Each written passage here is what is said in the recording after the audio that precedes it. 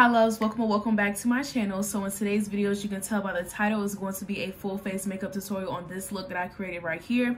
I have to talk really fast because my camera is about to die, but yeah, you guys, um, I did my eyeshadow look. I did one eye off of camera and then the other eye on camera and I also did my face makeup portion as well. That's something I want to start including in every single video that I do. So yeah, you guys, the main star of the show is this palette right here from BPerfect. This is the Ultimattes palette, but this is the mini version of it and this is what it looks like. Literally like if you don't want too much in your collection and you just want the perfect neutral all matte palette this is the one that you need to get.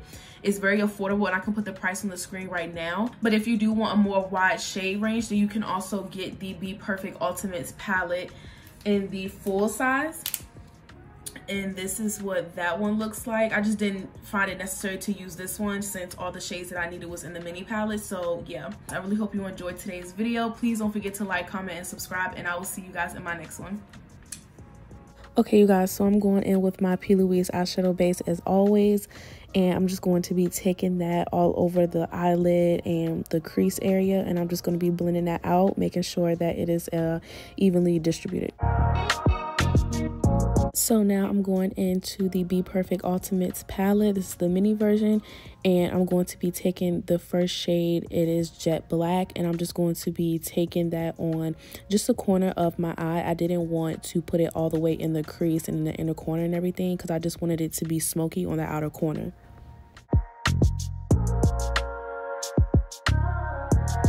So next I'm going to be taking a deep brown shade and I'm going to be going further into the crease and I'm also going to use that for the second shade that we're going to be blending um, into the black. So yeah, I just wanted this to be really smoky and just blown out.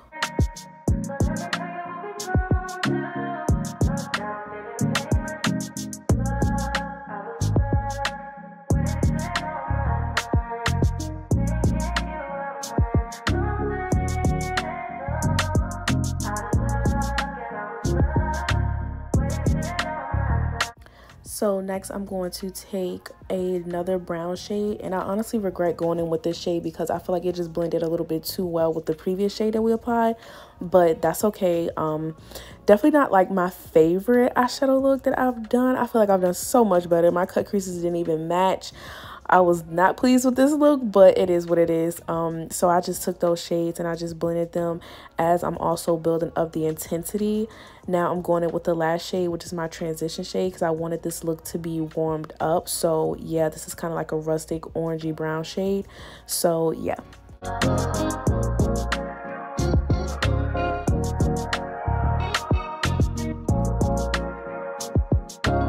So now I'm just taking those shades that I previously applied and just going through them, making sure that it's to the intensity that I want it to be. Typically when you're going in and you're blending your eyeshadows, you start to lose the intensity. So it's really important that you do this step to just make sure that everything is pigmented into the intensity you want it to be.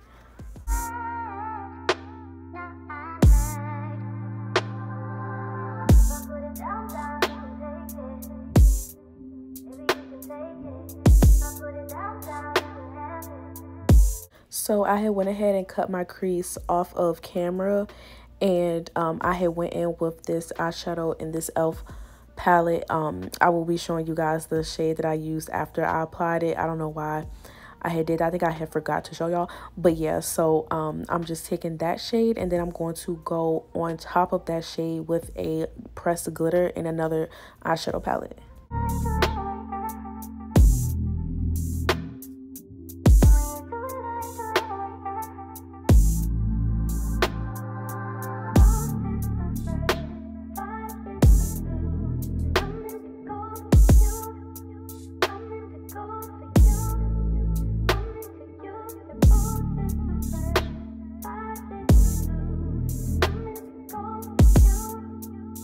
So now I'm going to be lining my um, cut crease with this neon water activated liner and yeah I'm just doing something real simple just a line to cut that crease out and just make it pop a little bit more and then I'm just going to line my lash line afterwards.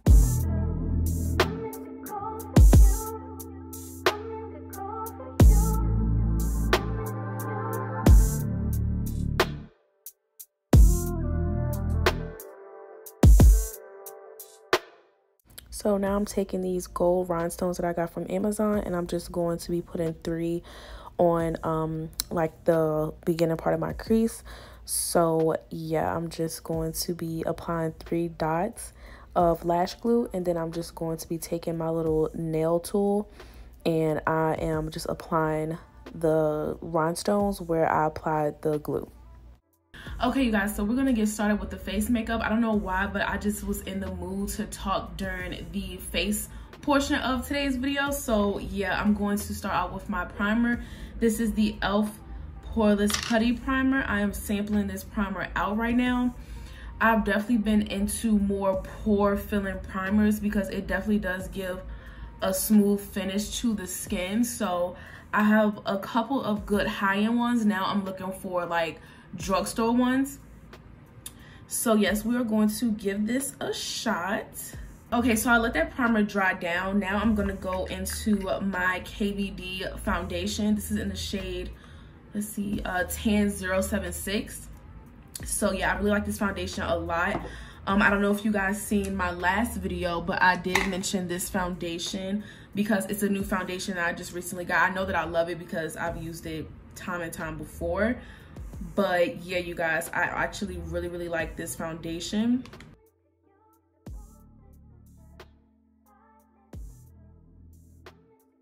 It is more on the side of like my summer shade but i can still pull it off in the winter time.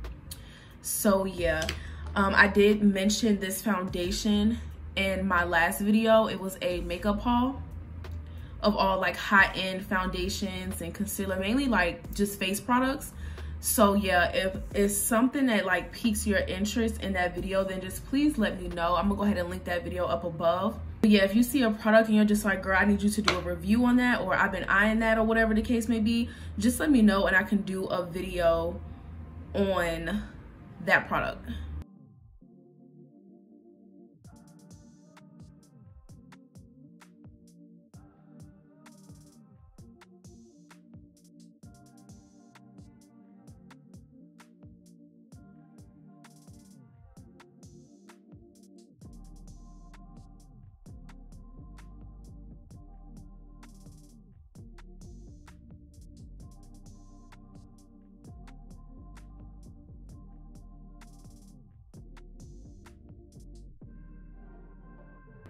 So as you can see, as I'm blending out this foundation, I like to avoid my under eye area just because we're already going to be applying concealers and everything.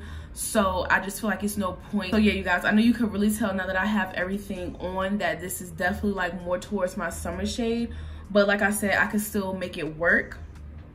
Um, I still really do like this foundation. I want to wear it like all year round so yeah. So now i'm going to be taking my mac studio finish concealer in the shade nc45 and i'm just going to be taking that under my eye. This is like full full coverage you guys and i have so many of these and i've never used them so i'm just like let me just go ahead and just use it right quick now, I'm so sorry, you guys. Uh, my friend had called me and she really needed to vent and talk and stuff. So I decided to just take the call. So yeah, um, I'm just going to be blending out that concealer. And then, of course, as always, I like to go in with a lighter concealer, which is going to be the Studio Finished Matte Concealer in NW20. It's way, way lighter. So yeah, um, after I apply this concealer, I'm going to apply that one and um, just apply it in the areas that I want it to be uh, mainly highlighted.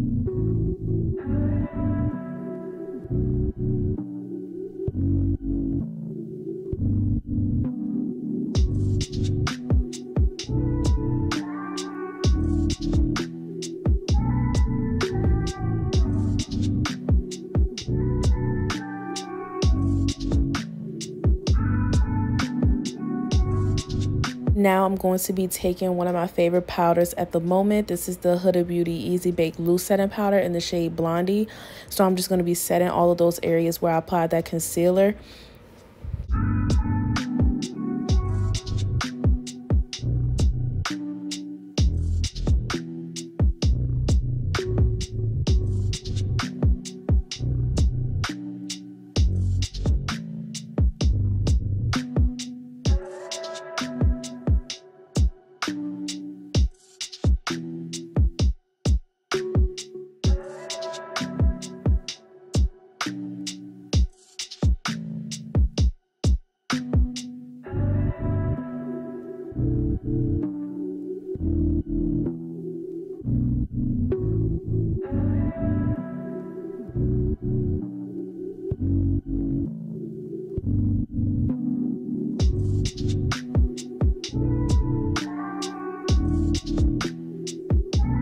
Now I'm going in with my Huda Beauty Easy Bake and Snatch powder in the shade Blondie. This is their press powder.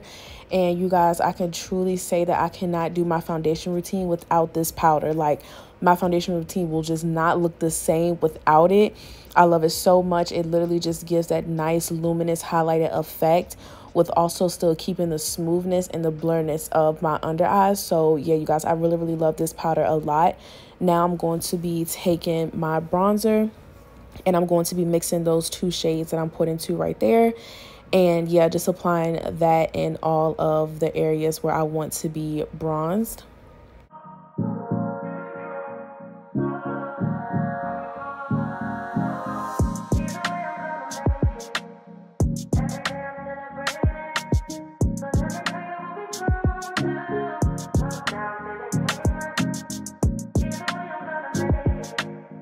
So now I'm going in with that last shade that you guys seen in the one size trio. And uh, that is literally the perfect shade to contour my nose. So yeah, I just went ahead and did that. Now I'm going in with my blush. This blush is really, really beautiful and it's pigmented. I wish I could have used more. I didn't know that um, you could barely really even see the blush. But yeah, um, now I'm just going into my lower lash line and just taking... Um, I want to say it was espresso and it was the rust color as well. Um, I think it was russet or something like that. Yeah, so those two shades and just um, smoking out the lash line, just making sure that everything matches and it blends really well. Um, and then after that, I'm going in with some mascara.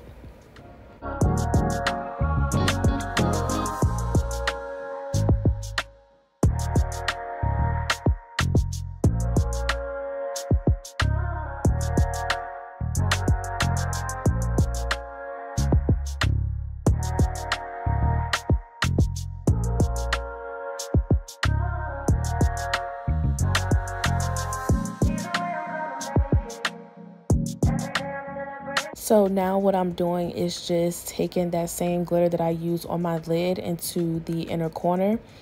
And yeah i'm just placing that eyeshadow first and then the glitter so you guys now i'm lining my lips with my wet and wild lip pencil. Um unfortunately i was not able to get any footage of me applying the lip color because i got too close to the uh, mirror. And i did not realize that while i was recording so i apologize about that. But yeah it's just a beautiful chocolate brown shade. So yeah you guys after i did that i did apply some more gold rhinestones to the outer corner. And I had to get very ghetto unfortunately because I did not core any um outro footage. So yeah you guys I really do apologize about that. So what I did was just took um clips from my YouTube short and just put them together so you guys can see it and it can fit in the frame. So yeah sorry about that but at least you guys get to see the final look. I really hope you all enjoyed today's video. Please don't forget to like comment and subscribe and I will see you in my next one